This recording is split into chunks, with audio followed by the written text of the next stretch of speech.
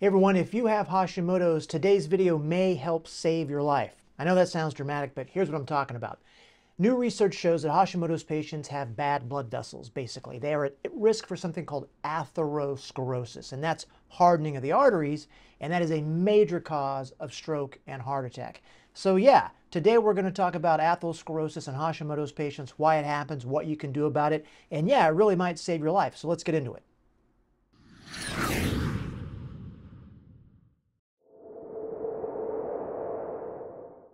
So first we have to define a few terms, right? Now, we know what Hashimoto's is. That's an autoimmune thyroid condition. It's the most common cause of hypothyroidism.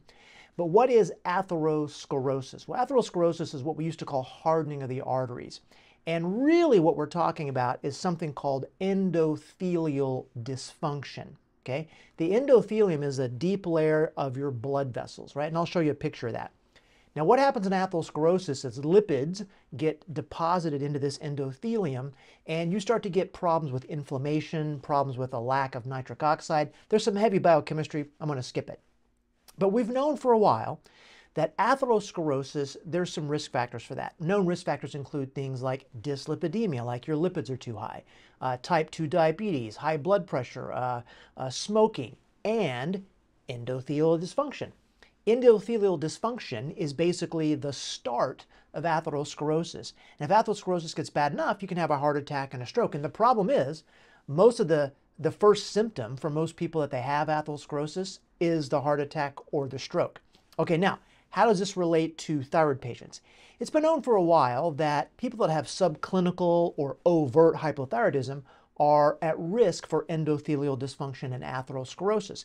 But no one really looked specifically at Hashimoto's patients and euthyroid Hashimoto's patients. So let's define those terms.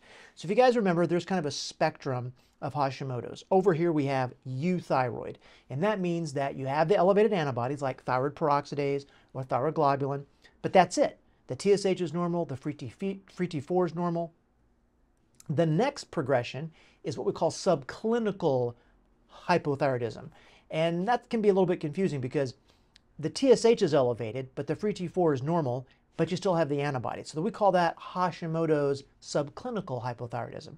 And then the last thing that it can progress to is what we call overt or just plain old hypothyroidism. And that's where the TSH is elevated and the free T4 is low, but Hashimoto's is the number one cause of hypothyroidism. So recent research has looked at something called endothelial dysfunction, we mentioned that a minute ago, in euthyroid Hashimoto's patients. So again, these are people that have the antibodies, but their TSH is normal and their free T4 is normal. So of the Hashimoto's spectrum, it's like the, the mildest form of it you can get. But all you have to have is the antibodies for things to go wrong, for things to be inflammatory. And don't forget that because Hashimoto's is an inflammatory condition. So they use this thing called an EndoPAT.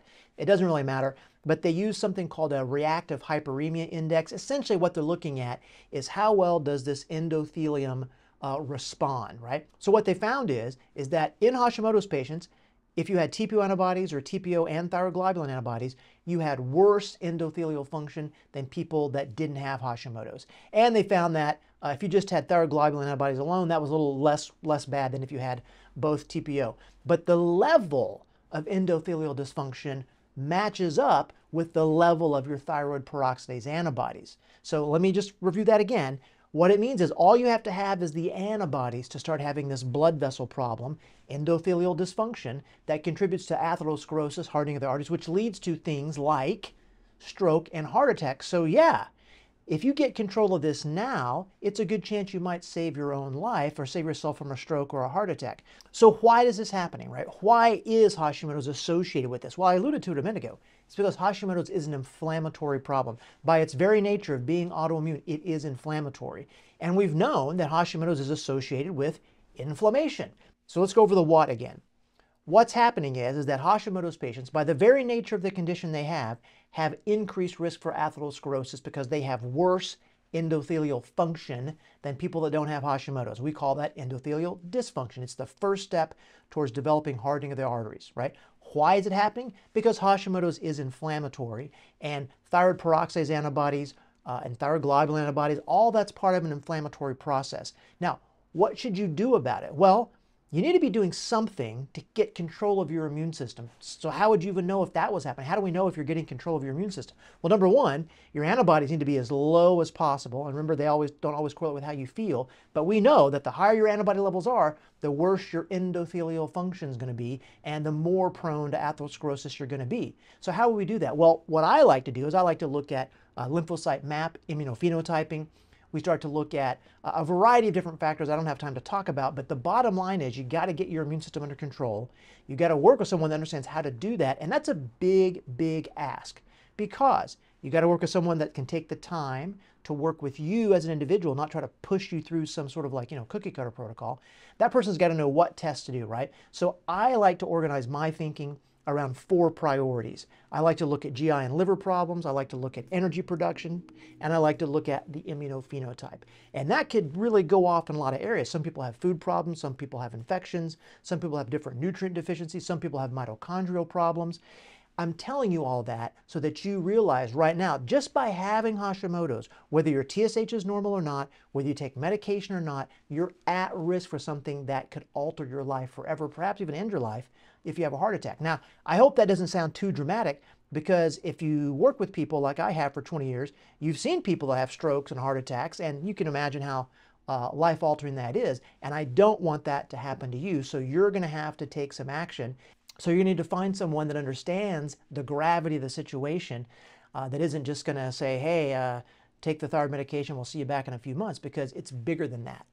And yes, I see people that don't feel good. I see people that have anxiety and brain fog and depression and muscle aches and joints and pains. This is a little bit different because it can be silent. So there's a whole kind of diagnostic thing we need to do specifically for what level of atherosclerosis do you have right now that you might not know? Because remember, it's silent.